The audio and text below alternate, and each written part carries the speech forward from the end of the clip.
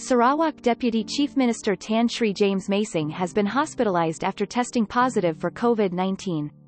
He is currently warded in the intensive care unit of the Sarawak General Hospital here. The doctors and nurses are doing a fantastic job in caring for my ailment, Masing said in a brief WhatsApp message on Tuesday. He added that he had a fever and was coughing. Astro Awani reported that Masing took a PCR test after experiencing the symptoms and was confirmed positive on Tuesday. Masing has received both doses of the COVID-19 vaccine.